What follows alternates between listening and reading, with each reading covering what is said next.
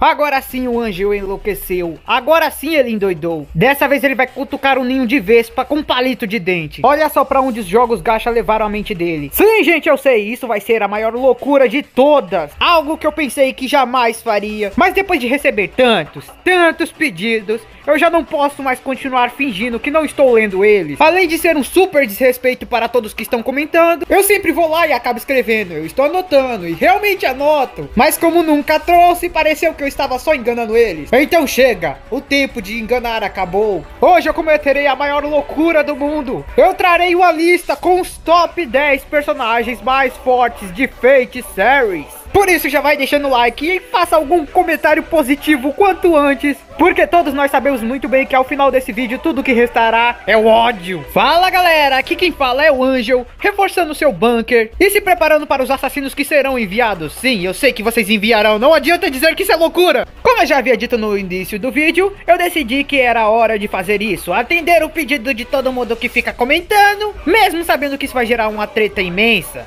Eu vou repetir, mesmo que eu saiba que não vai adiantar de nada, mas prestem atenção nas regras. E para vocês que vieram aqui só pra ver o caos nos comentários, ou pra pular o vídeo até a parte final, e aí ficar todo revoltadinho, vocês sim são os males da humanidade. Um ponto importante que eu preciso deixar refrisado é que eu conheço várias obras da franquia do Nasoverso, e isso você pode ver muito bem se olhar os vários vídeos de Fate que eu faço. Mas ainda assim, mesmo eu conhecendo várias obras do Nasverso, é claro que eu não conheço todas. Deixado isso claro, vamos começar logo com essas regras. Como eu já disse diversas vezes, eu não queria fazer um top 10 de Fate, pois ele é gigante. Quem conhece o Nasverso sabe que ele é basicamente infinito. Ontem mesmo eu tava olhando no Reddit e vi duas light novels novas que eu nem sabia que existia. E ainda tem aquele novo Fate que vai se passar na mitologia nórdica e não dá pra ver pois não possuem a versão digital ainda. Então o que eu quero deixar claro é, sim, é totalmente possível que eu esteja esquecendo algum personagem de algum Fate, de alguma outra série do nosso verso,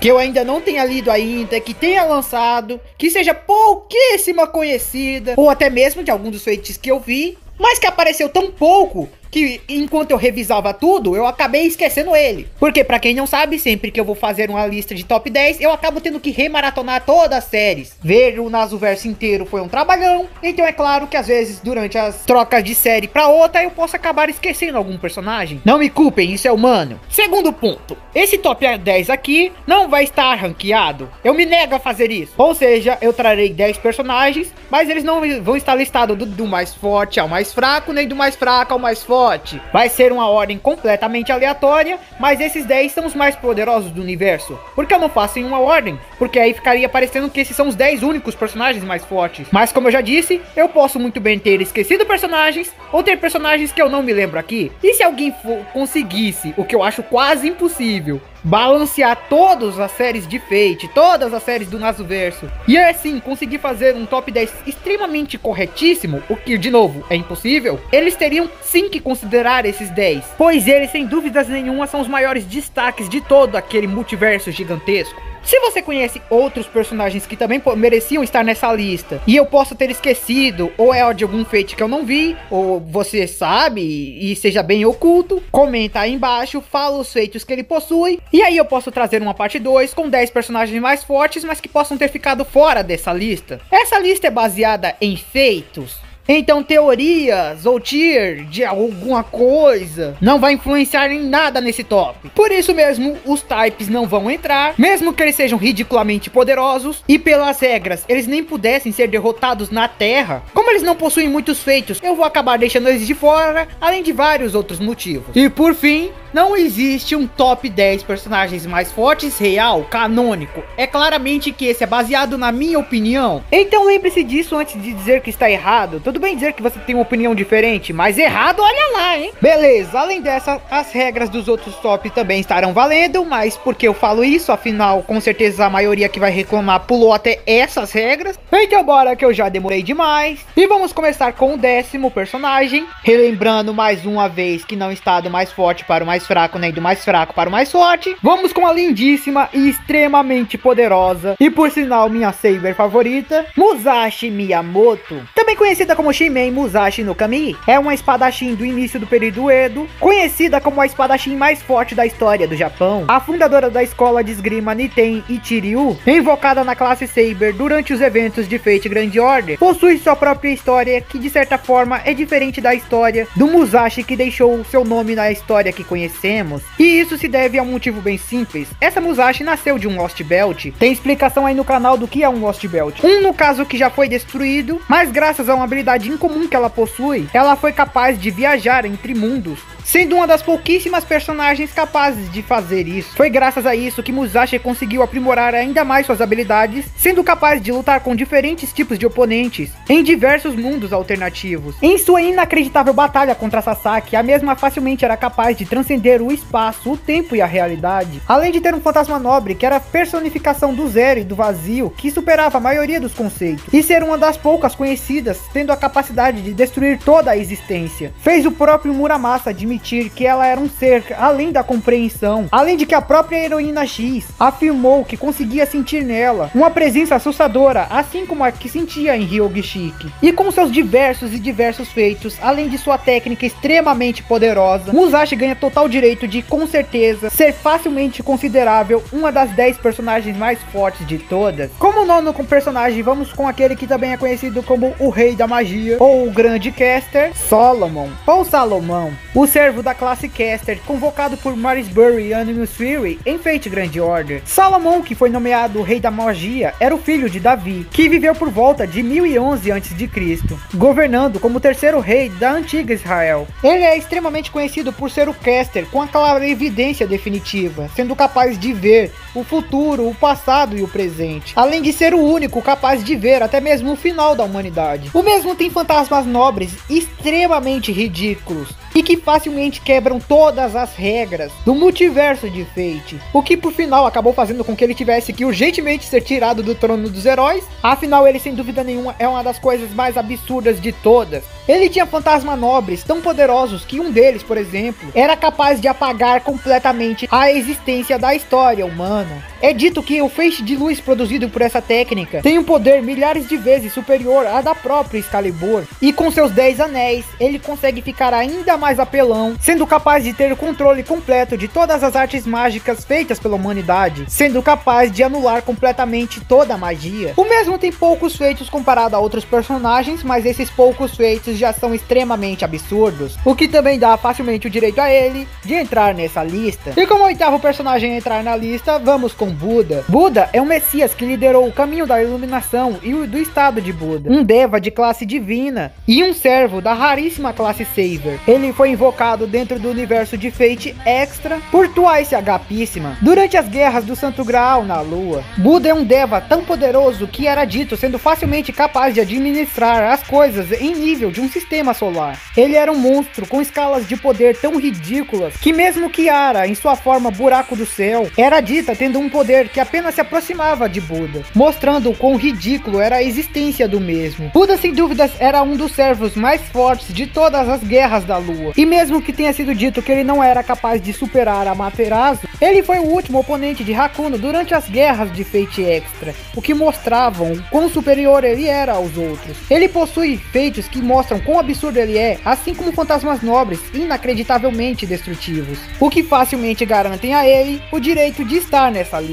Já como sétima personagem a aparecer na nossa lista, vamos com a nossa lindíssima diabinha Bibi. Bibi, a inteligência artificial de backup criada por Sakura, contendo seus sentimentos por Hakuno, é uma IA que acabou ganhando consciência própria, criando o Sakura 5 e o labirinto de Sakura, se tornando uma das principais vilãs de Fate Extra, assim como um dos monstros mais poderosos de lá. Ela também foi invocada na classe de Moon Cancer por Hitsuka Fujimaru em Fate Grand Order, e é a principal responsável por uma das maiores bagunças feitas na Muncel. Bibi é um monstro tão ridículo que foi capaz de superar até mesmo o controle da própria Muncel. Sendo um desastre ambulante e imparável, ela foi capaz de devorar 128 servos, absorvendo seus poderes e se tornando ainda mais forte. Sua velocidade de cálculo era tão ridícula que era capaz de se comparar à própria Muncel ou a Suzuka Gozen, permitindo que se ela quisesse, reescrevesse completamente toda a Seraph. Mesmo que ela não seja realmente uma serva, ela era classificada como Moon Cancer. Ela mostrava que era facilmente capaz de reescrever toda a realidade, manipular completamente o tempo, e isso mesmo durante os eventos de Fate Grand Order.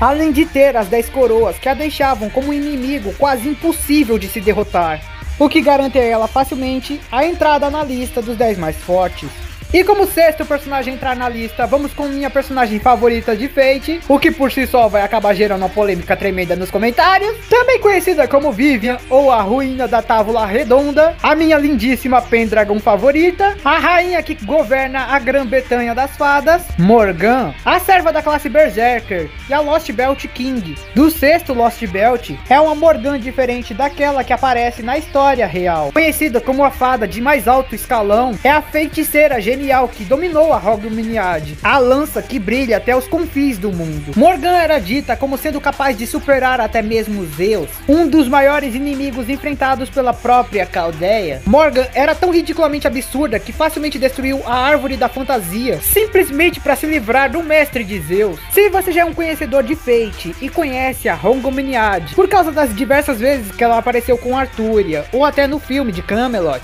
você sabe o quão absurda essa lança é e quão destrutiva ela é, sendo dita tendo o poder de acabar até mesmo com o mundo, principalmente por ser a torre de luz que ancora as camadas dele. Morgan dominou essa lança com tamanha perfeição que a mesma é capaz de utilizar 12 delas. Até o fim do Lost Belt 6, ela era conhecida como o ser mais forte de todo o planeta. O próprio Sion acreditava que apenas Morgan era capaz de derrotar o Alien God. E em Fate GO, olha o spoiler vindo aí, a mesma se mostrou tão ridiculamente poderosa que mesmo Fujimaru, utilizando seu poder de protagonista, não foi capaz de derrotá-la. E no final de tudo ela acabou apenas perdendo porque essa foi sua própria escolha. É naquele momento que você percebe que se nem o protagonista conseguiu derrotar, é porque esse ser é ridiculamente absurdo. O que garante a ela sim feitos o suficiente para entrar nessa lista. Já como quinto personagem, aquele que é favorito de várias as outras pessoas, também conhecido como Rei dos Heróis e o Arqueiro Dourado, Gilgamesh. E obviamente estamos falando da versão que mais o pessoal gosta de falar. O Gilgamesh em sua versão mais forte, aquele que aparece em Fate Extra CCC. Um servo sem classificação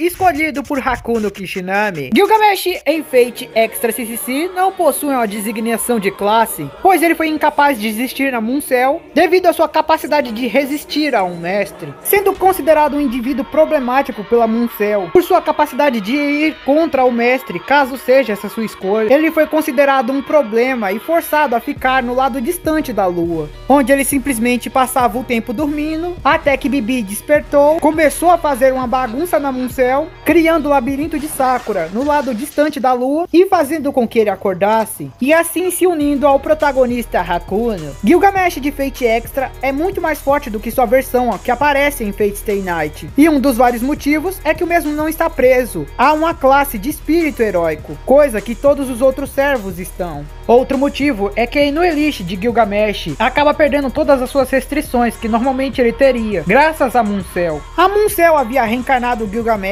com o objetivo que ele fosse um dos servos utilizados na guerra de Fate Extra. Tem vídeo explicando aí no canal. Mas como mesmo era incontrolável, uma vez que ele tinha seu próprio estoque de magia e se quisesse podia ir contra seu mestre, como já vemos até mesmo em Fate Stay Night e Fate Zero, a Muncel o selou do outro lado da lua. Mas o mesmo afirma que foi pro outro lado da da lua por sua própria vontade. Diferente dos outros servos que Hakuno pode invocar em Fate Extra, Gilgamesh é o único que não tem seu fantasma nobre selado pela Muncel e diz que pode utilizar a IA, a espada da ruptura, sempre que quiser. Embora não use, embora, por causa dos motivos que a gente já sabe, pelo fato dele considerar o Hakuno como alguém que não era capaz de lidar com isso, e por acreditar que não tem oponentes dignos de usar. Como servo do protagonista de Fate Extra CCC, ele tem diversos feitos diferentes, lutando contra oponentes extremamente poderosos, como a própria Bibi ou Kiara. Mas vamos pro próximo, afinal ficar citando todos os feitos dele na obra é meio que é meio irrelevante ou loucura, afinal não tem como citar todos os feitos do protagonista de uma obra, é tipo citar todas as lutas dele da obra. Mas com todos os feitos que ele tem durante Fate Extra CCC,